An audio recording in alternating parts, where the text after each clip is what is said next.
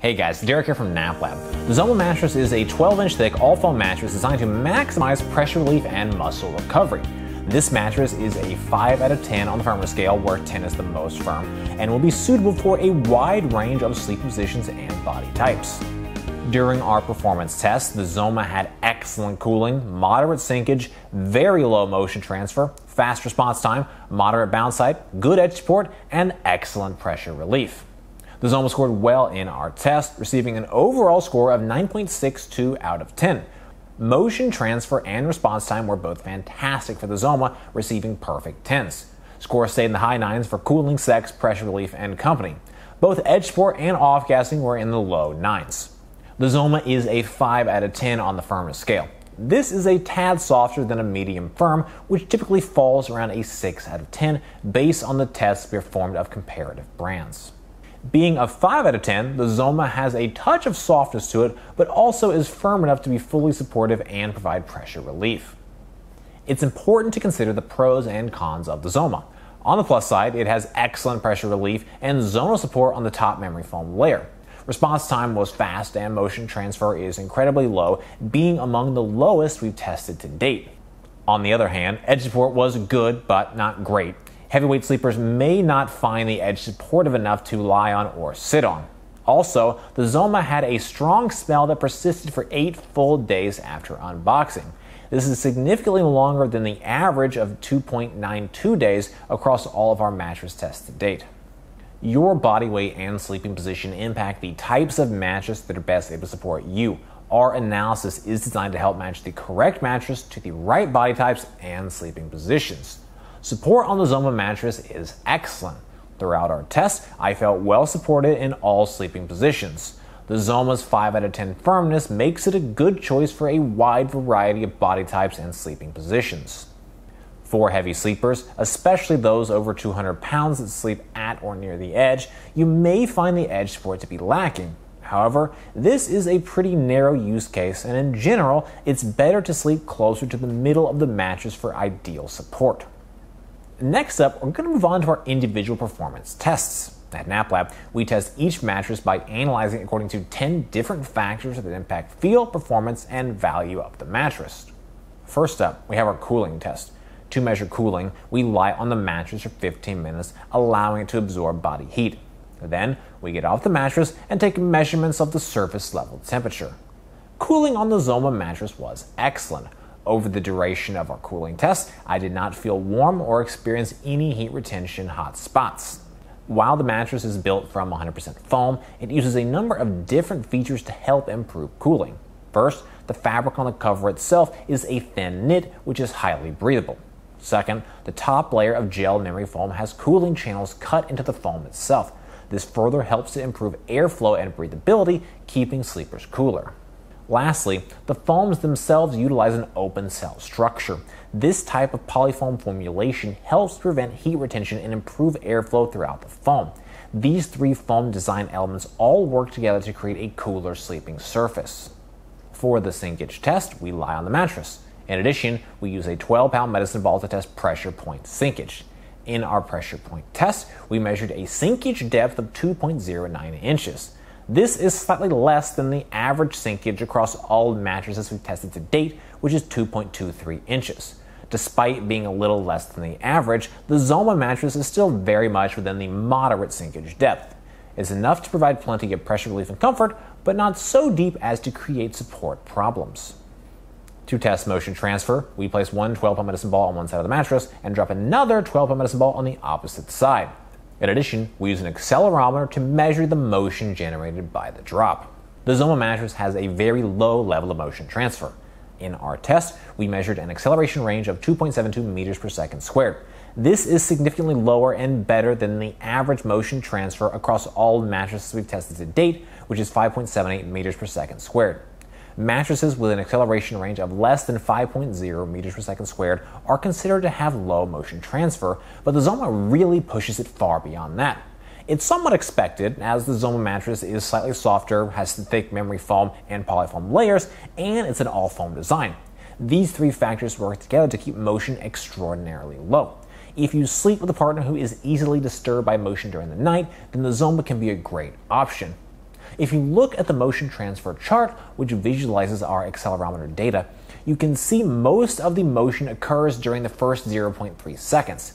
Between 0.4 and 0.6 seconds, that motion is cut in half and then rapidly dissipates back to near zero thereafter. To test response time, we place a 12 pound medicine ball on the mattress. Once it's fully at rest, we then quickly remove it and demonstrate the amount of time it takes for the mattress to recover and resume its original shape. The response time on the Zoma mattress is fast, but also not the fastest we've tested. In our test, we measured a mostly recovered response time of 0.4 seconds with a full recovery of 0.7 seconds. This is a good bit faster than the average, which is a mostly recovered time of 0.54 seconds and a full material recovery of 0.95 seconds. The fastest response time we've recorded to date are 0.2 seconds to mostly recover and 0.3 seconds to fully recover. However, most of the mattresses at that level are non memory foam mattresses. Memory foam, even more advanced formulations like the one used in Zoma, are still generally going to respond a little slower compared to polyfoam, latex, and pocketed coils. For most sleepers, the response time of the Zoma mattress should be perfectly fine. It's still quite quick, relatively speaking. However, if you want the absolute fastest response time, you may want to check out the GhostBed Lux, Leesa Legend, or WinkBed mattresses, all of which are tied for first as the fastest responding mattresses we've tested to date. To run the bounce test, we drop a 12 pound medicine ball onto the mattress. We measure the maximum depth the ball sinks to before rebounding up, as well as the maximum height it achieved on the bounce. The Zoma mattress has a moderate level of bounce. In our bounce test, we measured a total bounce height of 8.53 inches. This is a little below the average bounce height of 9.29 inches. For most sleepers, this level of bounce should be sufficient to aid in ease of movement, improve sex, and offer a comfortable feel. I will say, I'm surprised at the level of bounce relative to the motion transfer. Generally, with lower motion transfer comes lower bounce. However, the Zoma still maintains a fairly high level of bounce despite the incredibly low motion transfer. Despite being a little below average, it's still well within the moderate bounce height which is 8 to 12 inches. At this level of bounce, most sleepers will find it enough to help aid in movement and improve sex performance. For an assessment of edge support, I lie on and sit on the edge of the mattress to measure the level of support and compression.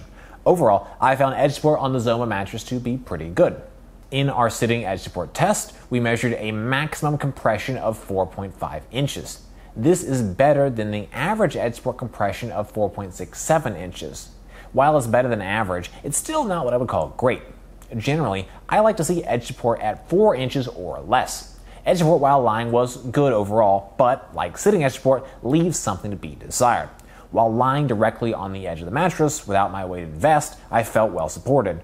I also felt no sensation of being rolled off the mattress. However, when I wear the weighted vest and bring my weight up to 200 pounds, there is a significant level of sinkage and compression. As you can see from the photos, there is a huge curvature of the materials. It's not all the way to a complete collapse of support, but it's enough to concern me.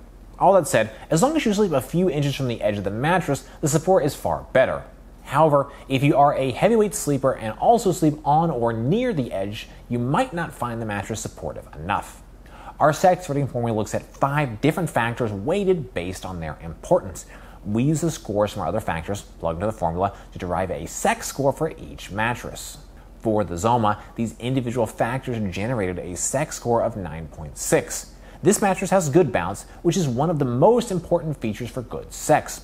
Edge support is good, but not the best, and we notice quite a bit of compression when sitting or lying directly at the edge. While this may not be a huge factor for you, it's definitely worth mentioning when considering all aspects of sex performance. Noise, pressure relief, and cooling were all acceptable. Nothing to really note in those categories. The material components, quality, and comfort layer thicknesses are all critical factors to pressure relief. Other factors that further affect pressure relief are body weight, body type, and sleeping position. Pressure relief on the Zoma mattress is excellent. The Zoma uses 4 inches of comfort material, including memory foam and polyfoam, which creates an amazingly comfortable feel. The top gel memory foam layer is also zoned, providing a little more support for your hips and midsection and a little less support for your legs and upper body. The zoning works well with the broader material design to deliver excellent pressure relief. To evaluate off-gassing, we monitor the mattress following initial unboxing, taking a subjective measurement of any strong lingering smells. We were surprised by the level of off-gassing on the Zoma. Upon immediate unboxing, there was a strong smell. The smell lingered on the mattress for eight full days before dissipating to a negligible level. This is quite a bit longer than the average across all of our tests, which is 2.92 days. If you're sensitive to strong smells, you may want to allow the Zoma to air out for a few days in an open, well ventilated area before trying to sleep on it. Zoma was founded in 2019 in Scottsdale, Arizona, with a specific design that caters to athletes and the need for muscle recovery. While it's designed with athletes in mind, it's still a mattress that's muscle recovery and pressure relieving materials would be beneficial for many types of sleepers. They offer standards like 100 night trial period, 10 year warranty, and free shipping and returns. None of these policies are too out of the ordinary. One note to mention they do have a 30 night break in period, which covers the first month that you have the mattress. During this time frame, you cannot request a free return. This is not an unusual policy, and if you're really in a pinch, Zoma does offer returns with a $99 handling fee during the first 30 days. If you can stand to wait past the first month, you can request a return for no charge. Zoma is the sister brand of Amerisleep, which was founded in 2010. Zoma was founded in 2019 with specific design that caters to athletes and the need for muscle recovery. I would recommend the Zoma mattress for sleepers who are looking for an all foam mattress designed for athletes to facilitate muscle recovery. It offers excellent pressure relief and zonal support throughout the memory foam top layer. This all foam design also offers very low motion transfer for those who sleep with a partner. It comes in at a 5 out of 10 on the firmness scale, where 10 is the most firm. So you will need to prefer a medium firmness if the Zoma is going to be right for you. Well guys, that's it for this video. I hope you found it helpful. Comment questions, please drop us those notes down below. If you're interested in buying the Zoma, we've got a link in the description. For more from NapLab, be sure to get subscribed, ring that bell, and visit us over at naplab.com. As always, thank you so much for watching.